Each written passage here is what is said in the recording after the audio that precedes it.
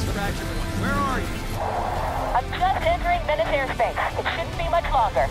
You're not coming soon. You may as well turn around. Whoa, don't listen to him. We're getting out of here.